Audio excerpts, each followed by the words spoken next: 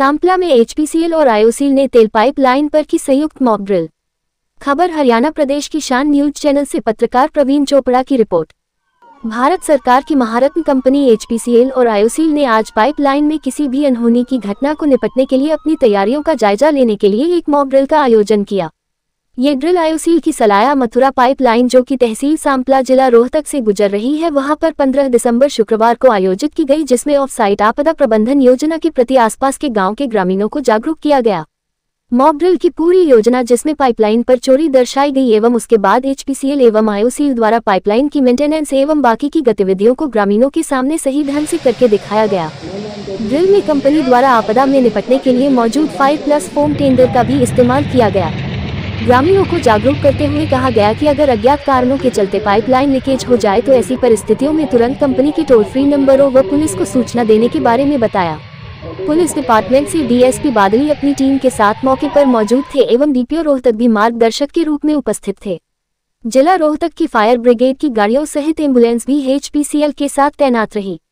मौजूद ग्रामीण एवं सरपंच सोमालिया ने भी मॉक ड्रिल में भाग लिया एवं एचपीसीएल एवं आयोसील की, की सराहना करके उत्साहवर्धन किया।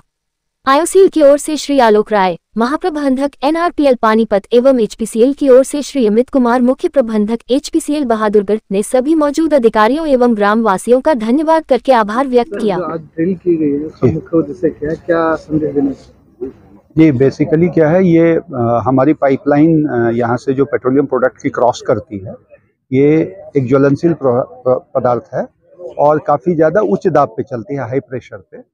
तो इस लाइन के ऊपर कोई भी छेड़खानी किसी मिसक्रिएंट के द्वारा किया जाता है तो उसमें सीवियर एक्सीडेंट हो सकता है जिसमें जान माल का नुकसान हो सकता है। तो ऐसा ना हो इसके लिए हमारे आ, सारे एफर्ट लगे हुए रहते हैं।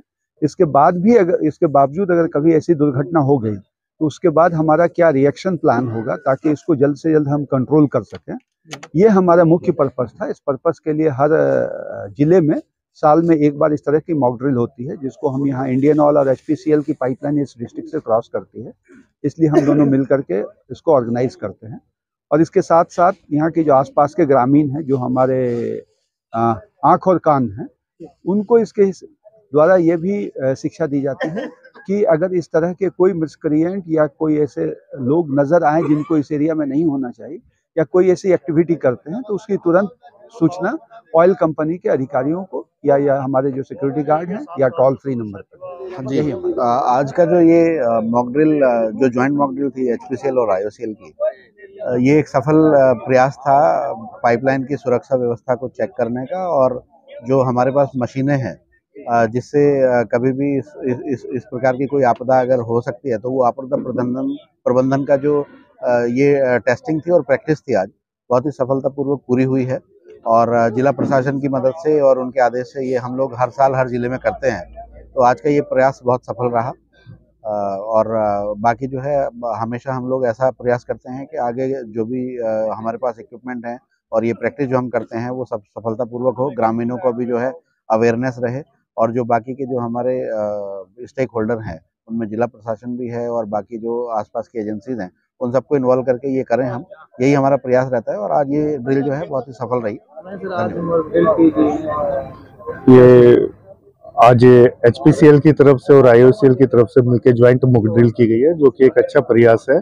और इस तरह के प्रयास हर साल या तीन चार महीने में एक बार होते रहने चाहिए, जिससे लोग जागरूक रहे और जो ये चोरियाँ होती है इसकी पेट्रोल क्रूड ऑयल की तो उससे बचाव किया जा सके।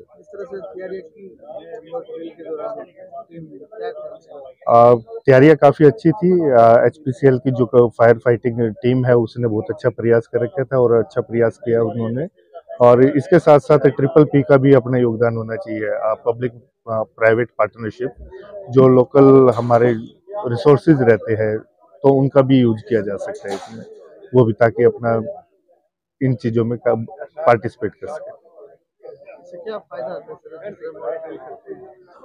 तो इससे अपनी खुद की प्रिपेयर्डनेस का पता चलता है डिपार्टमेंट को कि भाई हमारे के कौन कौन से रिसोर्सेज काम में आते हैं और प्रिपेयर्डनेस का पता चल जाता है कितने हम सक्षम है कितने लिमिट टाइम के अंदर हम अपना इन चीज़ों से अपना निजात पा सकते हैं।